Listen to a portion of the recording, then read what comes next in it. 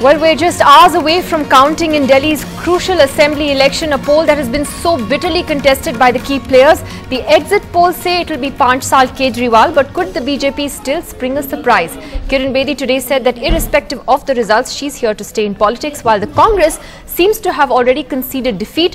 Ajay Maken telling NDTV that he will be responsible if the party loses. So what really is at stake for the key parties? Will this result have a bearing on the Modi government at the centre? Does it reflect on how the centre has performed till now? What does it do to the Congress and its reluctant leader Rahul Gandhi? And can a win for AAP boost its prospects in other states? Tavleen Singh joins us in this segment tonight uh, and we'll be joined by Professor Yogendra Yadav very shortly. Tavleen, let me take this to you first. If you were to take a look at the BJP first, is this, you believe, a reflection of the Modi government at the centre or not? You already heard leaders like Venkaiah Naidu coming out and saying, no, no, it's not a referendum on the PM. But the fact is, it was Mr. Modi's pictures on every poster, it was Mr. Modi's voice on every radio jingle. You had senior ministers, Mr. Modi himself out there in full force in the campaign. Will this, uh, if they lose, be a dent on them as well? Absolutely. Absolutely. Uh, there is a great feeling in um, across the country that I pick up of disappointment. The, the government doesn't seem to be moving fast enough on economic reforms. It doesn't seem to be moving fast enough to improve education. The social sector is totally neglected. It's too much as if they've just, don't take it badly, right? It's just too much as if they've just settled into the mold, as I wrote in my column, that the Congress left behind and was a very bad mold, right? So there is disappointment, and it'll get reflected in this thing. I'd be very surprised if the BJP pulled off a victory. So you don't uh, you don't think that they, they, they still have a shot because I, I don't always believe the polls, but nor do I.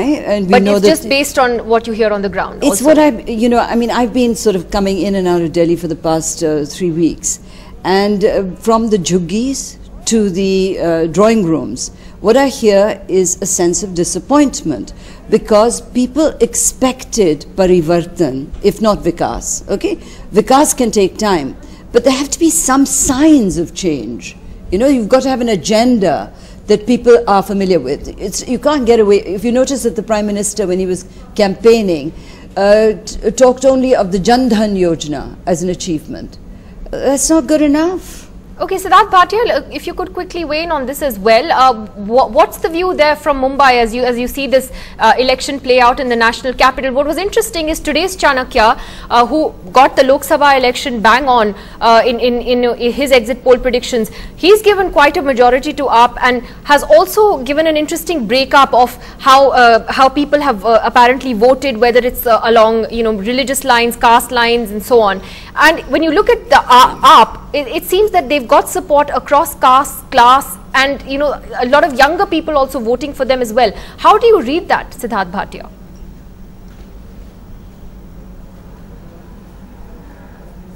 You know, um, I think Tavleen used the phrase jhuggi jhopdis and drawing rooms. I'll add another quotient to that, another factor, and that's boardrooms.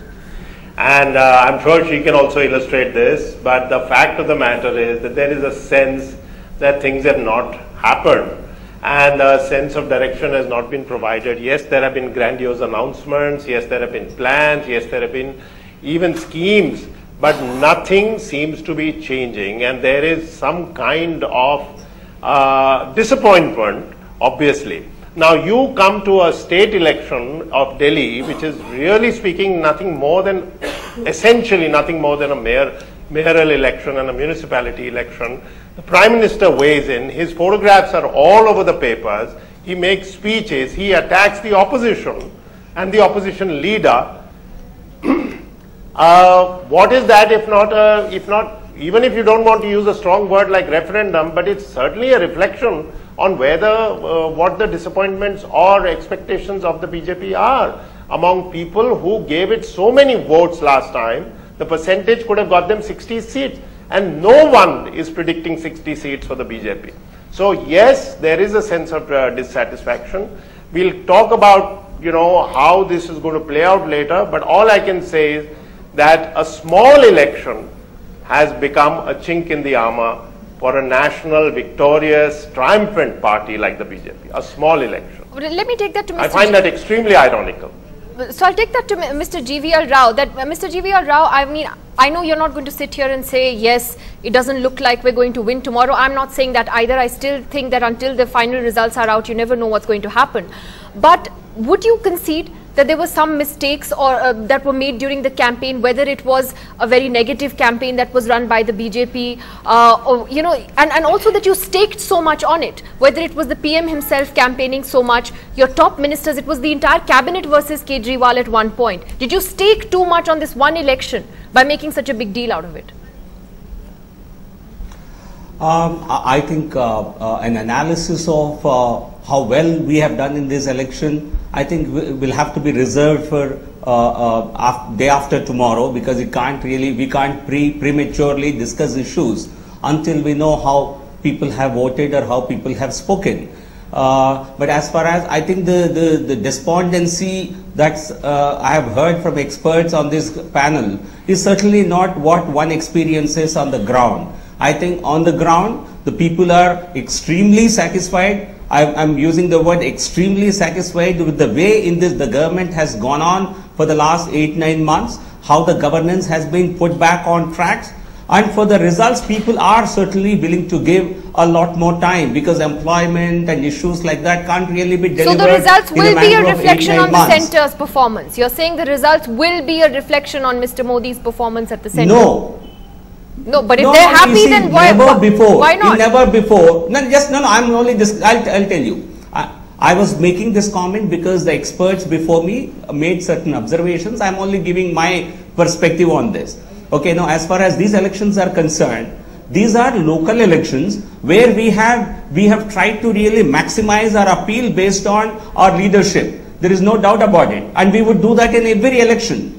But the reality is, Delhi election uh, as, uh, as, as possibly Mr. Siddharth said, is largely a local election. And it will be influenced by a lot of local factors also. No, but then So why have the PM campaign? Why put, purely on. if it's a local election, then why was Mr. Modi's uh, face on every newspaper, every poster, every radio jingle? You know, it, it was huge. Kiran Bedi was a little square. You know what I mean? If it's a local election, I- I- then it yeah, should have yeah, been but- just about no, Kiran but you Bedi. com- There's one compare. important One- point, I one- think. yeah, one second. But you one compare it with all other elections. You compare it with all other elections in the recent, in the last seven, eight months. I think Mr. Modi addressed eight rallies in Jammu and Kashmir, 11 to 12 rallies in Jharkhand, uh, uh, Jharkhand, and he has addressed nearly 25 rallies in Maharashtra. In Delhi, he addressed only four meetings. So relatively, his exposure to Delhi was much a less. smaller but place. increasingly, you see, the, the point to be understood is local issues will continue to matter. You see, we could not we could not make a difference in Valley. So why did we not win seats in the Kashmir Valley? So so does one has to look at the context. One also has to look at the local political factors. It cannot be only one leader winning every state for you. But he certainly be he has certainly been a very positive factor for the BJP. Well, I- So I can just see pictures right now. Let's, let's wait and see tomorrow. You know, I, you know, but the point is that you have been campaigning in Mr. Modi's name and the performance of his government as well. I mean, the radio jingles, which you know were there on every morning when I drove to work, when you could hear, you know, that that it, it, it you know, chalo chale Modi ke saath, and it was all about you know the, the Modi Yes. government. So therefore, let me ask Mr. Yogendra Yadav, Mr. Yadav, uh, I'm sure you must be confident this evening, but is, is there also a danger in the AAP camp of some overconfidence? I mean, you're also a psephologist, you know how this works. What do you think the margin of error could be in these exit polls? Uh, Nidhi, Mr. Narasimha Rao makes, I think, a couple of very fair points. We cannot get into a post-mortem mode unless we have the results in the first place. Uh, we have only exit poll forecasts. Yes, exit polls have gone off the track in the past. Uh, the tendency has been for them to underestimate a party like the Aam Aadmi Party. Um, and usually when you have a large number of polls all pointing in the same direction, then the question is generally of the margin rather than that, that of the direction. Um, yes, they can go off as well. My own estimate for whatever it's worth, and I say so in full realization that uh, it will make not an iota of difference to the results. My own sense from reading the polls is that every, almost every one of them has underestimated Aam Aadmi Party, perhaps for good reasons, uh, because pollsters tend to be cautious, they tend to be, They tend not to go overboard. Uh, but I think they have underestimated Aam Aadmi Party for two reasons, for in two ways. One, looking at and knowing something about the industry, I know that almost every one of them has underreported the lead that their own survey showed for Aam Party. Uh, I'm not saying this is a there's something uh, unprofessional here. Uh, after all, estimates are adjusted, but they have been adjusted to the lower side for Aam Party. Second, almost every one of them has been conservative in translating votes into seats. If Aam Aadmi Party has something like 6 to 8 percent, uh, percent lead, as all the polls have pointed out, it should straight away translate into something like 50 seats. I'm sure Mr. Narasimha Rao there would agree with me that if the lead for one party in a straight bipolar contest is something like 6 to 8 percent, then the leading party, whichever that party is, would get something like two-thirds majority straight away. So that's what But I Mr. think we Yadav, let me ask you because I'm trying to reflect on, on, on what these results could mean for each party. And if the AAP does indeed walk away with the victory tomorrow, uh, in terms of, of the impact in other states, do you see then a greater role for the AAP, say in Punjab, possibly uh, you know venture into Bihar? Do you do you see your party doing that slowly uh, uh, and, and venturing into these other states? Uh, I think uh, the point that uh, Mr. Gautam Bhat, uh, Siddharth Bhatia made earlier uh, is worth keeping in mind. These are and were local elections, and the result would have been very limited if the Prime Minister and the BJP had not thrown it all its prestige, all its resources, all its organizational might into winning this election. So, in a sense, they have made it bigger than it actually is. And clearly, uh, if we may win, and if we win big, as is, uh, seems to be the case, then its reverberations would be felt uh, throughout the country. The simple conclusion would be, I think two broad conclusions would follow if we win the kind of win we think we will. One, a juggernaut has been halted. Two, hope has been rekindled. Now, how do we carry that forward is a different matter. I would be very cautious because you see, last time what happened was that we scored a victory. Uh, there was a lot of hype around what we did, and uh, in Maybe some overconfidence. many ways that hype actually damaged us. Yeah, yeah, Uh, you, you so admit that. I would rather not uh, get into that hype. Uh, we are still a very small party outside Delhi, and we have to contend with bigger ones. But I think in the country right now, you have a government party, but you don't have an opposition. The oppositional space is a vacuum right now. No, you know, and, that's here is an exactly that's exactly why I want to turn my attention to, be the used. Congress because the Congress party, Mr. Rashmikant, let's talk about you guys. You know, mostly this battle has been about the AAP and and the BJP and the exit polls, and you yourself were candid about that, are not very flattering about what's going to happen to the Congress. Where does the Congress party go from here? I mean, you know. Is there are there going to be some serious questions within the party finally after all these months that something has to change and it has to change quickly? Nidhi, I think there's two parts to uh, two parts uh, in my answer.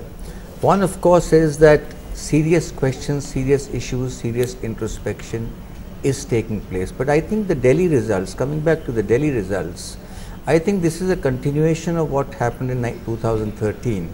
And the Delhiites thought that Mr. Kejriwal got a raw deal and Mr. Kejriwal should be given another chance. And AAP was smart and good enough to get their organization together and instead of have instead of showing their national ambitions so quickly they they concentrated concentrated on Delhi very much they got they got volunteers from all over the country the Panna Pramukhs of the B- uh, RSS didn't work. We just talked about the BJP workers. The BJP really doesn't have an organization. It's the it's the RSS which gives that gives that sense. The question should really be asked to the BJP. While the Congress is certainly there, BJP is the ruling party, a party that got 60 seats in the last referendum of the people. 60 assemblies they won in the six in 60 assembly segments out of 70. Let's talk about the Congress though. Yeah, no, no, no. But the, important point is for the last four years. you're not talking about the Congress at all, I am. sir. I, I'll tell we you why I'm not talking BJP. about the Congress. You- there's no point, you know, No, no, the no, BJP because we know be- has its be- problems. because- What are your because, problems? Because for the last four years, when the UPA was in power, this entire debate and discourse, political discourse, was around UPA, which was ruling the country.